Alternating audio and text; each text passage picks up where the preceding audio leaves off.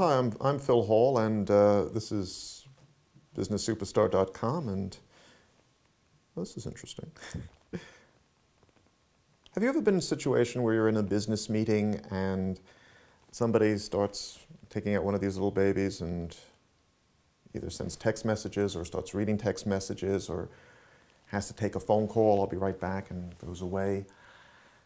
I find it annoying and quite frankly unprofessional because if you're in a business meeting, you would expect that someone would give you their complete and undivided attention, which they're not giving if they're engaged with this.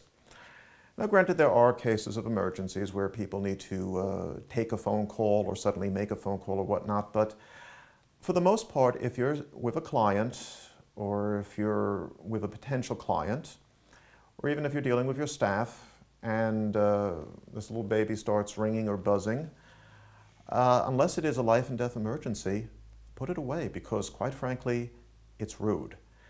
And it's not a very good impression on you that you'd much rather go into another conversation than continue the conversation that you've begun.